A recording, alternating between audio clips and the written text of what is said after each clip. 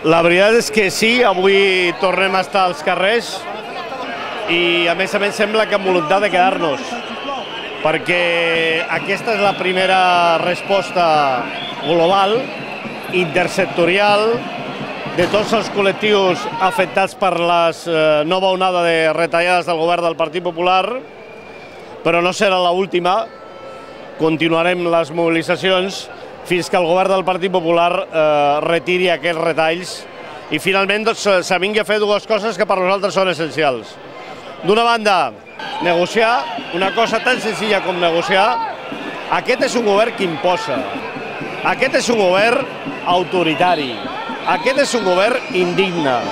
Perquè és autoritari no negociar i és indigne fer el contrari del que es va prometre en el seu moment als ciutadans i les ciutadanes. I per tant, la primera condició sine qua non és negociar amb la societat, que té molta més legitimitat que el govern, perquè la, la societat està legitimada, en el cas dels sindicats, per les urnes. El govern està legitimat per una societat que li ha votat per fer el contrari del que està fent. I és en aquest sentit, amb el sentit que hi ha una exigència clara al govern de obri un procés de negociació.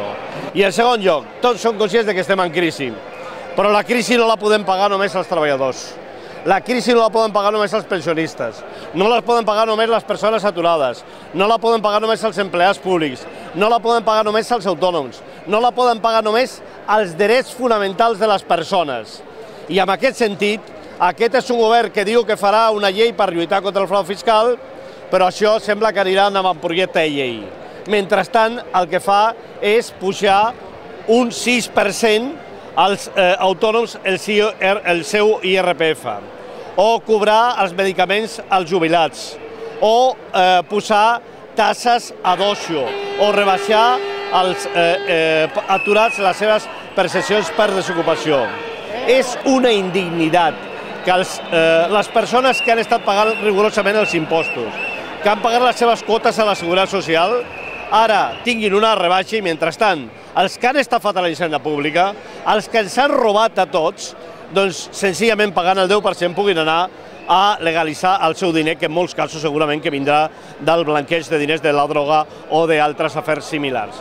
És en aquest sentit que jo crec que avui és la primera gran resposta de la ciutadania.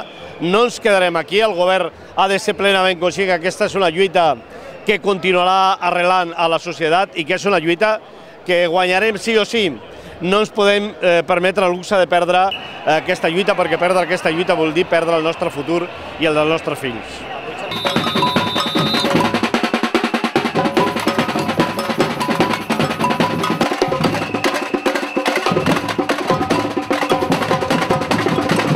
Tinc l'absoluta seguretat de que aquesta és eh, una de les prèvies a una vaga general, no serà l'única prèvia. Eh, nosaltres no hem descartat la vaga general, però aquest govern sabem que el millor és agafar-lo per sorpresa. No convocar-la quan ell creu que ho farem. No, haurà de suar. Suarà fins i tot per arribar a la vaga general, perquè nosaltres el que volem és fer una gran campanya a la societat, perquè el que volem és convèncer els ciutadans i les ciutadanes de que hi ha altres polítiques que són possibles, que per molt, molt que intenten manipular els mitjans públics de comunicació, que per molt que intentin eh, treure'ns un dia sí i un altre també el dret a una informació digna, la gent no es deixarà covardir i continuarà eh, lluitant. I si convencem a la gent, si són capaços de eh, configurar aquesta gran majoria social, la resposta ha de ser un referèndum.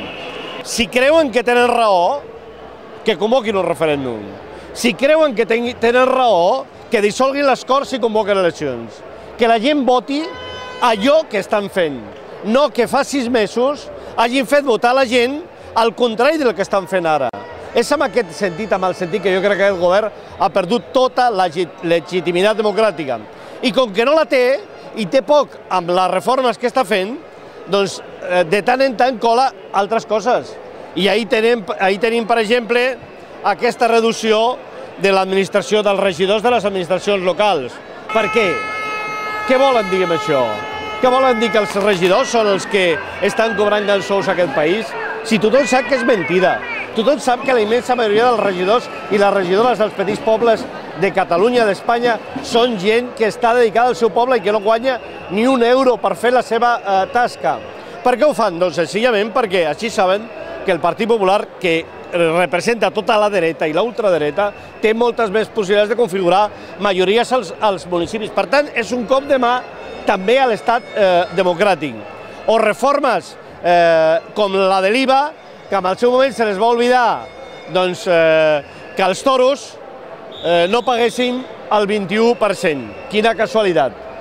El cinema, eh, el teatre, tot el tema que té relació amb la cultura, pagava el 21%, el tor els toros el 10%. És tan grossa que fins i tot van tenir de rectificar de manera immediata perquè és un escàndol la, el paquet de reformes, torno a dir, que no només són econòmiques, que són ideològiques i que són un retrocés democràtic. I jo crec que la societat davant d'això s'ha de plantar perquè volem viure en una societat lliure i volem tenir el dret com a ciutadans a decidir el nostre futur un dia sí i un altre també.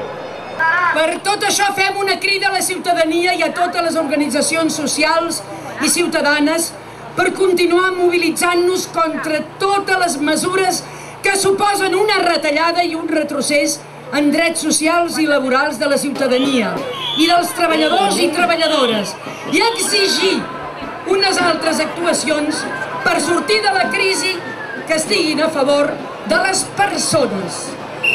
No callem! Defensem els nostres drets!